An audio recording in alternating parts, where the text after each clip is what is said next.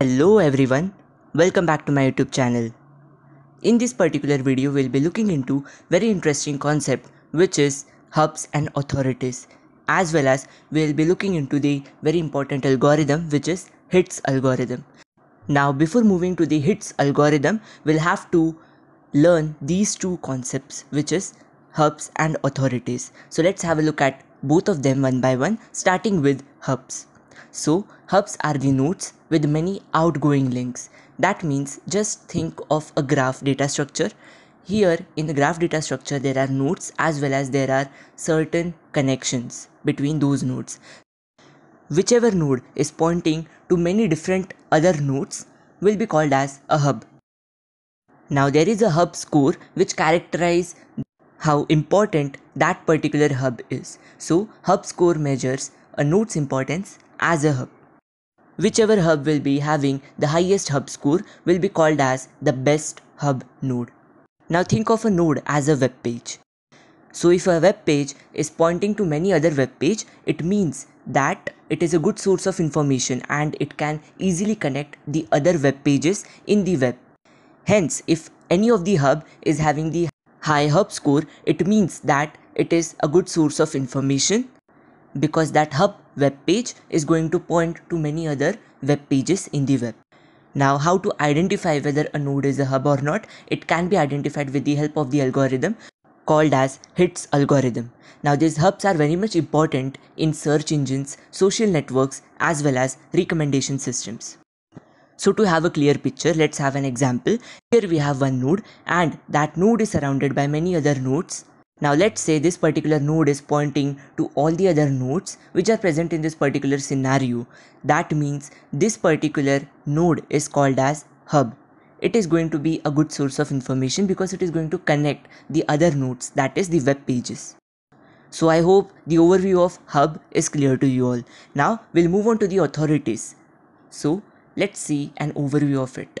So authorities are the nodes with many incoming links. So it is exactly the opposite of the hubs. In hubs, we were looking at the outgoing links, but here in authorities, we are looking into the incoming links. So now let's say if a web page is having many incoming links, that means that web page is very much relevant as well as it is informative because just imagine if a web page is pointing by many other web pages, that means there must be some information in that particular web page. That is why some of the web pages are pointing to it.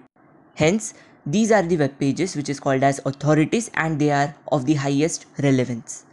Now again how to decide whether a particular node is a best authority node or not. It is based on the authority score. So it is a measure of node's importance as an authority. If a particular authority node has the highest authority, that means it is considered to be a valuable content on the web. The concept of authorities are very much important in search engines, social networks and recommendation systems as well as they help identify quality sources of information. So now let's take an example. Here we have one node and this particular node which is a web page is surrounded by many other nodes or web pages. Now let's say these all the surrounding web pages are actually pointing towards this particular node. That means this particular node or web page is having the highest importance in terms of relevance or information. This means that this particular node is an authority node. So I hope the concept of authorities and hubs is clear to you all and the difference is also clear. So now let's have a look at the HITS algorithm. This algorithm is going to identify whether a particular node is the best authority node or it is the best hub node. So now let's have a look at the overview of it. HITS stands for Hyperlink Induced Topic Search. It is an algorithm for ranking the web pages based on the relevance factor of the information that is present inside that particular web page. Now it measures a page relevance and importance based on the authorities as well as the hub score. Now we already have seen the concept of authority and hub scores. Now this HITS algorithm is widely used in search engines to find the relevant web pages based on the query that is fired by the user. Now this HITS algorithm is popular for its accuracy as well as the relevance of the search results that it gives after a particular query is fired. So I hope the concept of HITS algorithm as well as the hubs and authorities is clear to you all. Now we will be looking into a very interesting example which will tell you how this HITS algorithm is relevant for finding the hubs and authority score as well as for finding the best hub and the authority node. So now the example says that we need to compute the hub and authority score for the given matrix using the HITS algorithm. Now here the k value is given as 6 which is nothing but the number of iterations that we have to perform. And finally based on the hubs and authority score we need to identify the best hub and authority node. Now here you can see the matrix is given. This particular matrix is 4 cross 4 because there are 4 nodes that are present in this particular scenario and in each record you can see that there is either 0 or 1. 0 means there is no link and 1 means there is a link. So let's try to construct the graph which is nothing but the nodes and its connections to each other based on this particular matrix that is given to us. So according to the matrix, the matrix is 4 cross 4 hence there will be 4 nodes and the name of the nodes are A, B, C and D. So now we need to construct the connections between these nodes. So always remember in the matrix we always have to move from the top to the left like this. So here you can see on the top we have first A and on the left we have first A. This means we are moving from A to A and the record mapping to this position contains the value 0. That means there is no connection from A to A which means A node is not getting self connected. So I hope this is clear. Now let's move on further.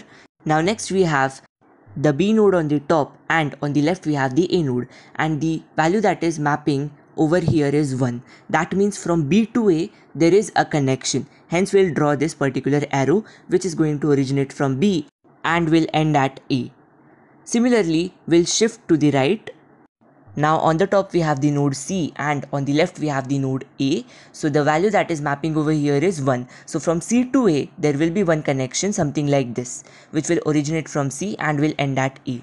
Again we'll move to the right. Now at the top we have D and on the left we have A.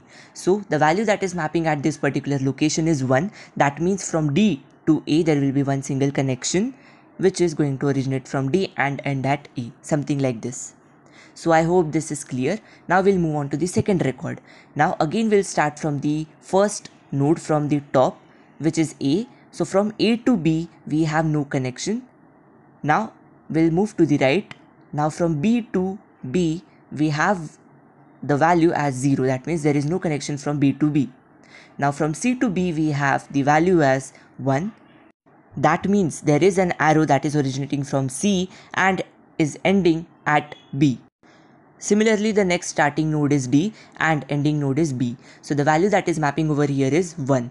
Hence, there will be an arrow which will originate from D and will end at B. Now moving to the third record, the value from A to C is 1. That means there is a connection which is going to originate from A and will end at C. Next we have the value from B to C as 0. That means there is no connection from B to C. Next we have the value from C to C which is 0 hence there will be no connection. Next we have the value from D to C as 1 that means there will be an arrow from D to C. Similarly moving forward now from A to D the value is 0 that means there will be no connection. Similarly from B to D the value is 0 there is no connection. From C to D also there is the value as 0 hence there will be no connection. Now from D to D there is the value as 1 that means there is a self loop over here. The arrow is originating at D and it is ending at D only. So this is the final graph that we have constructed with the help of this particular matrix and this graph is going to help us to find out the hubs and authority score. So now let's start finding the hubs and authority score. So always remember the initial hub score will always be initiated as 1. We will be giving a convention for the hub score for every node. So for the node A we'll denote the hub score as HA, for the node B we'll denote the hub score as HB and so on. And all of this hub score will be initiated as 1 at the very start. Now based on this hub score we are going to start with our iteration.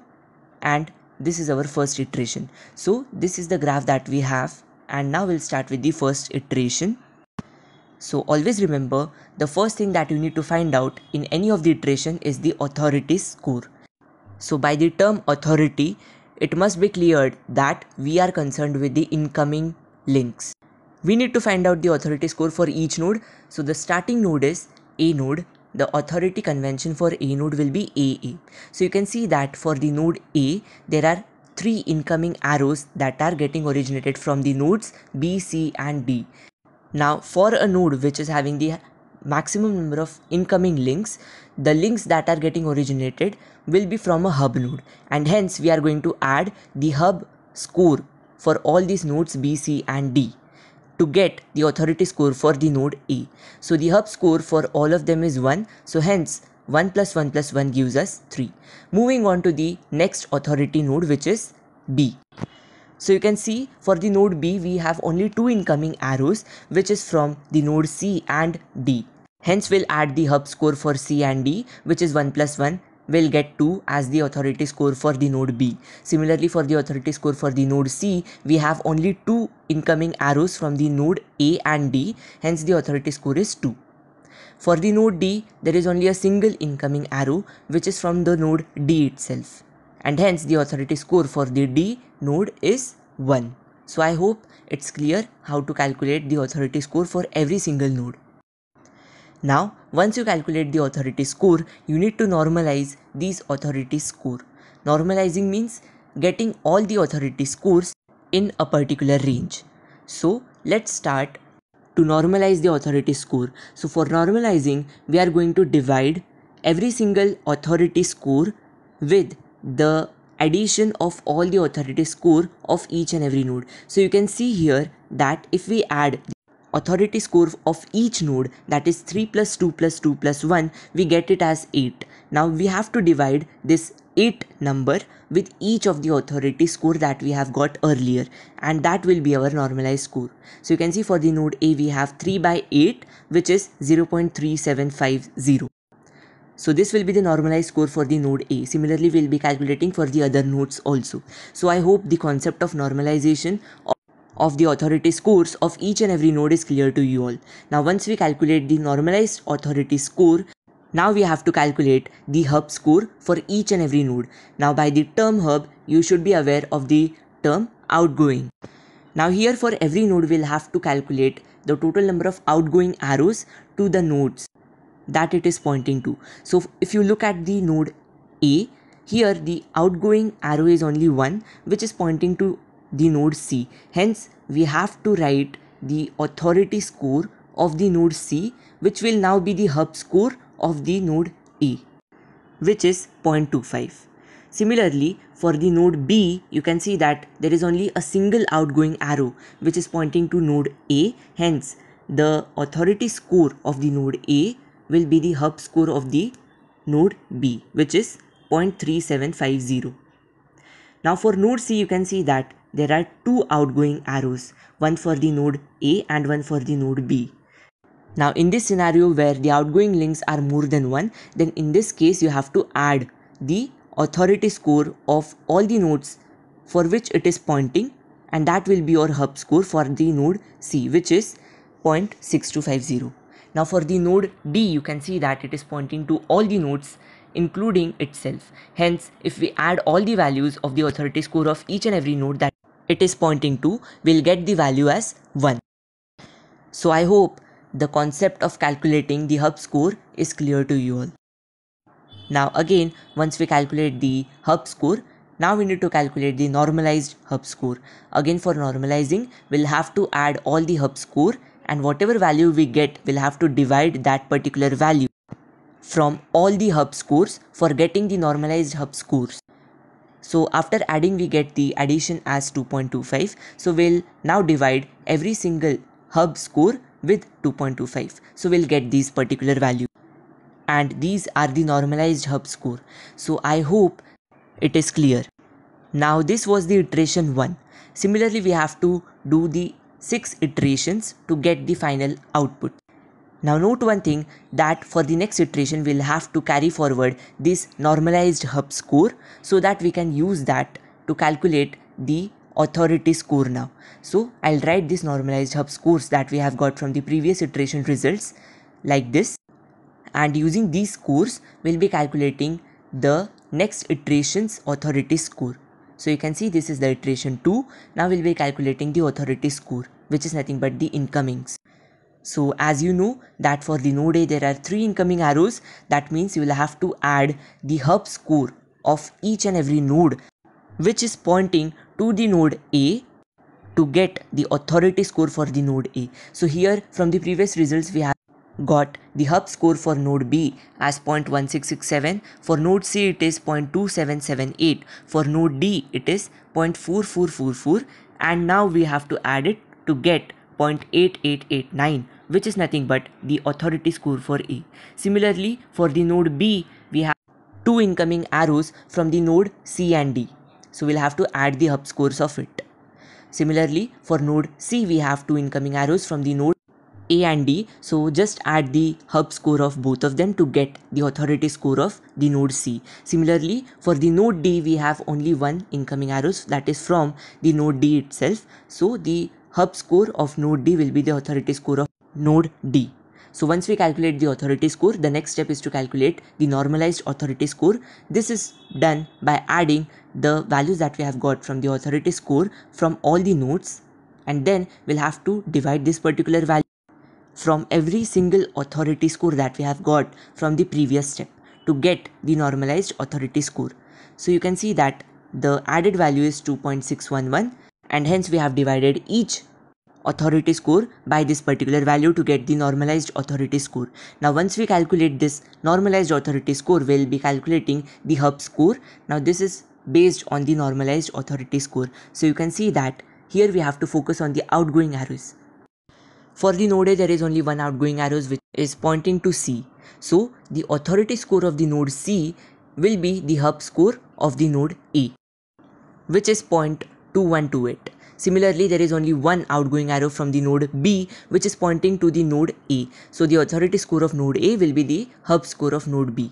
Now for node C we can see that there are two outgoing arrows which are pointing to the node A and B. So we'll have to add the normalized authority score of A, A and B to get the hub score for C. Similarly, we, for node D, it is pointing to all the nodes and hence we'll have to add the normalized authority score of all the nodes that it is pointing to to get the hub score for node D. Now once we calculate the hub scores, now we'll have to calculate the normalized hub scores. This is done by adding all the values that we have got from the hub score and then we have to divide this particular value from each and every hub score to get the normalized hub score. Now this normalized hub score will be used to calculate the authority scores in the next iteration. So we'll have to take this from the previous results. So you can see that I have displayed the normalized hub scores that we have got from the previous iteration and now we'll be using this for calculating the authority scores in the iteration 3. So you can see that again there is same procedure. Here we have to consider every single node whichever node is actually pointing to a particular node will have to add the hub score of all of them to get the authority score of that particular node. So in short same step is followed again. Now next we have to calculate the normalized authority score.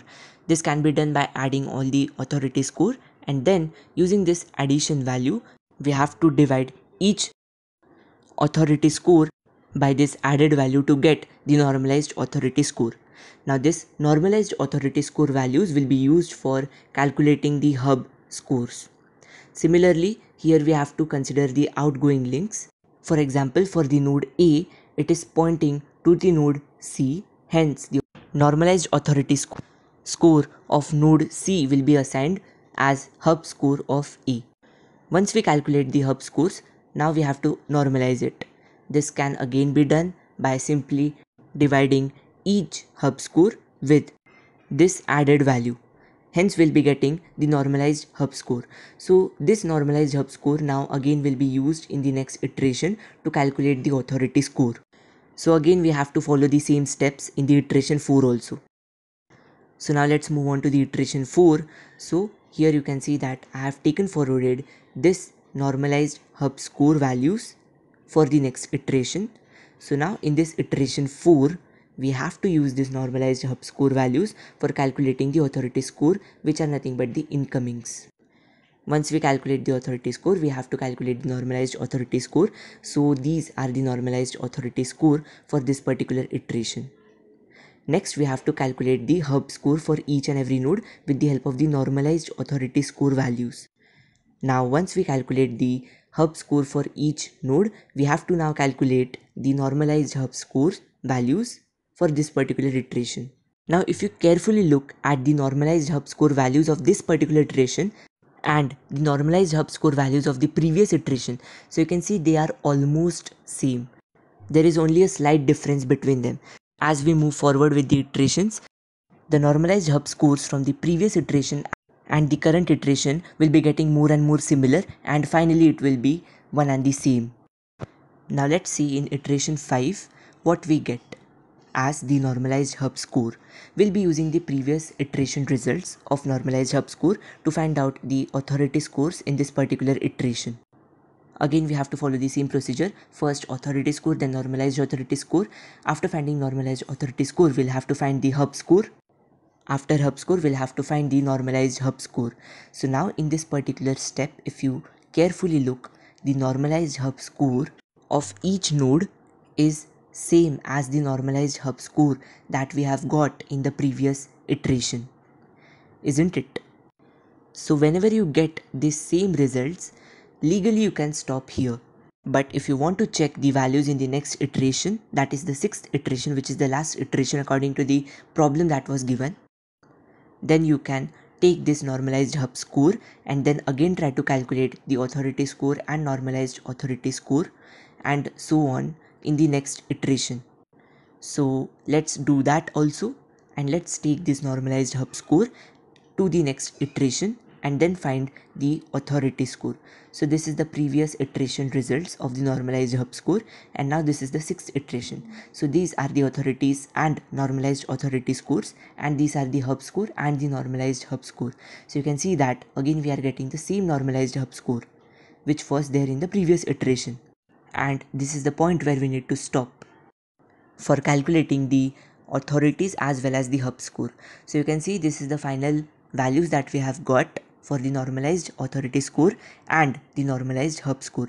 Now considering these normalized authority values, out of these values we'll have to check which is the maximum value. Here the maximum normalized authority score value is for the node A. And similarly for the normalized hub score, the maximum normalized hub score is of the node D. So now you can see we have got these two nodes.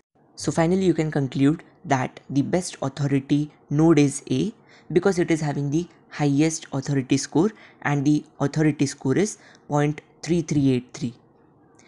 Similarly, you can write that the best hub node is the node D because it is having the highest hub score which is 0.4618. So A is the best authority node and D is the best hub node. You can see from the graph also A is having the highest number of incoming arrows from the other nodes and D is having the highest number of outgoing arrows.